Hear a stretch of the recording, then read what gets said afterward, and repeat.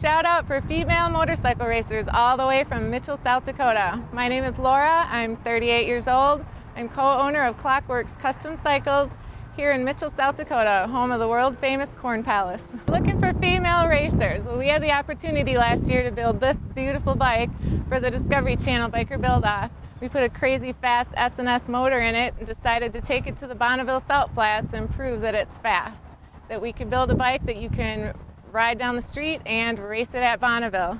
We were lucky enough as a team, with me as the pilot of this bike, to get an AMA National Land Speed Record. We're now into the whole racing scene 110%. We're going to be doing exhibition runs for the HDRA starting in June of this year, and we're also going back to Bonneville to defend our title. Brian Klock, the, the co-owner of Klock Werks with me, proposed to me. Now we live together and we work together and we're together 24-7, but we never talked about marriage. And the fact that we were all out there as a team and my daughters were there with us, and at the end of it all, after the land speed record and all the other great things that happened while we were there, um, in front of about 400 of our new closest friends, Brian proposed to me. Which gets me to the tattoo that I'm proposing for the Miami Ink show. Before we left for Bonneville, Brian had made some stickers that had the picture of my two daughters and I on them, and it said three girls versus the world. And I couldn't believe that he he would understand that to a point that he'd go have those stickers made, and I had them on the saddlebags of the bike. Um, the number that I race under is 333, and that happens to be my youngest daughter's favorite number. So the tattoo that I'm thinking of has a, a, lot more meaning to it than, than some of the other ones that I have right now. I have one really special one on my wrist that's a star. It's a small star, but it's, it's a symbol that I allowed my 16-year-old to get the same star on her 16th birthday.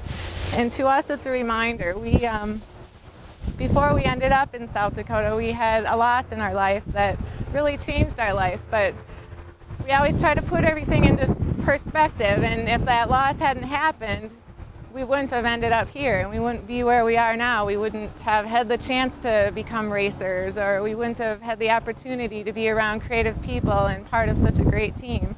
So this star on our wrist is a reminder that no matter what's thrown at you in life that you should handle everything with grace and no matter what, whether you're angry, sad, or upset, that you should always shine.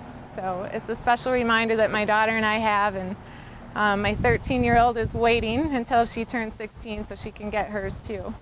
The other tattoos that I have, I've made all the same mistakes that other people have made as far as not thinking it through, and that's why the one I'm presenting to you is, is something I've really thought about and that I'm really looking forward to developing.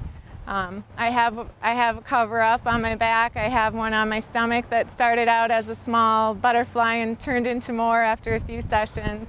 And I have my armband that's kind of small and it's getting a little faded. It probably wasn't the best quality when I started out, but definitely the one I'm talking about that I'm going to tell you about is one that um, I want to be proud to, wear and I want it to be visible because it's it's something, the story is something I'm really proud of and that I'd love to share to people if they happen to ask me what my tattoo means. The tattoo that I'm thinking of is something that represents three, whether it's three stars or three hearts or, or if I'm lucky enough to have Kat do portraits, maybe it's a portrait of my daughters and I, but something that represents three bonded together, wrapped together tight because believe me, my daughters and I, the journey that we've had is one of, one of a lot of love and a lot of loss. And they've saved my life many times. So they're really important to me. I'd like to go on my arm right here. It can be almost a half sleeve up over my shoulder. I really am completely open to artist interpretation. You guys are the best at it. And I'm absolutely would be proud for you to take my story and make a graphic representation of it. I want it to be visible, which is why I'm looking at my arm. And I want it to represent the bond of three, the bond of my daughters and I, and now plus one with Brian. So an image that demonstrates three plus one. So hey Miami Ink, I hope you enjoy the story and thank you very much for the chance to tell it. Catch you on the road, if you can catch me.